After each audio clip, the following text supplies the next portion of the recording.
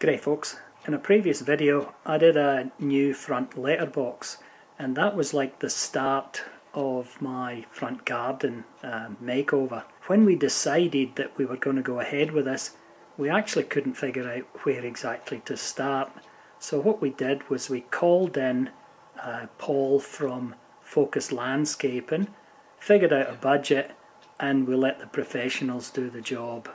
As usual you don't want to be looking at my face let's go on with the video and watch the garden evolve.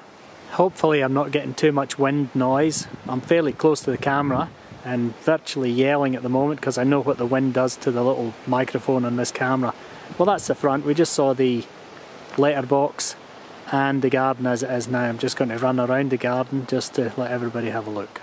Those bushes there, they've been there for over 20 years and it's time for a change. That'll be dug out and it'll go to where the uh, concrete is and the little step there will be part of our new landscape. But uh, to the right where that rubbish bin is that's really not going to change all that much at all. No plans for that bit in front of me right now where the rubbish bins are but the rest of it is probably going to change fairly dramatically with a bit of a wall at the end of the garden there to the slightly to the right of that big tree. We don't expect too much of a change here, but the daisies there on the top left, they'll probably be pulled out. They've been there about 20 years as well.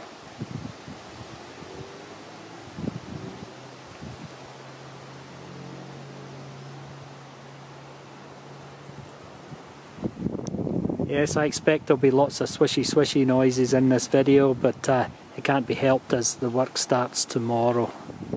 The bobcat arrived today and of course the wind gets up just as I want to take some video. And as can be seen the first load of rocks have arrived to form the little walls etc that will be through this area once the job's finished.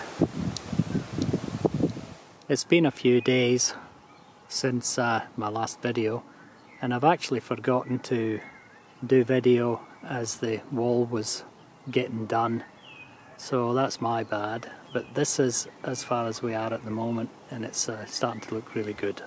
And of course it's been a reasonably still day today and as soon as I get the camera out the wind blows up. So I don't know how swishy this is going to sound. Still a few boulders short but uh, you can only carry so much in a trailer at a time and I suppose more will arrive tomorrow.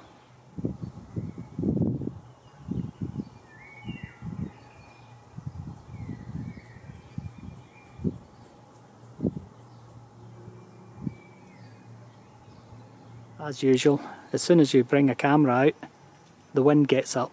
Anyway, the job is not quite finished, and the reason I say it's not quite finished is purely because we haven't planted yet, and we won't be do we won't be planting for a while because the weather is just too hot at the moment.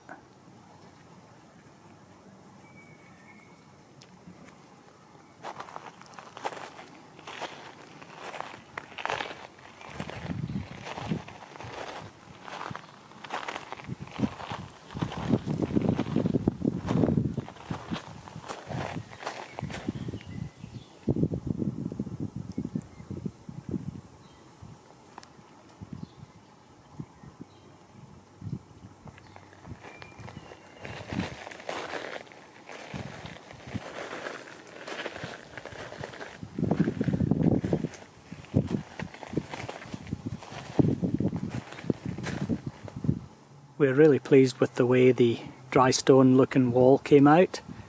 It uh, looks dry stone but there is a lot of cement there holding it together but the effect is, looks really good when you're up close.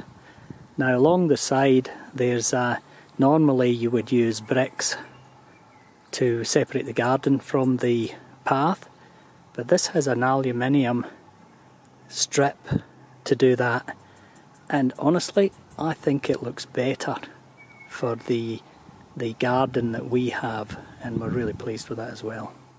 This is the front garden or what it looks like now.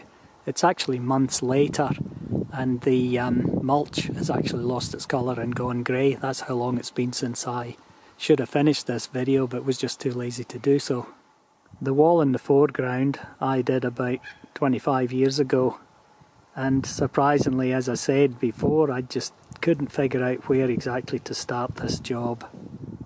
From the steps going up into the um, garden there, or the sitting part, it doesn't look too bad. My granddaughter absolutely loves just sitting up here throwing rocks or pebbles and um, it's a really nice spot to just sit and watch the world go by. Well, that's the finished product. Um, certainly none of my sweat and tears, but uh, as always, if you've made it this far, thanks for watching.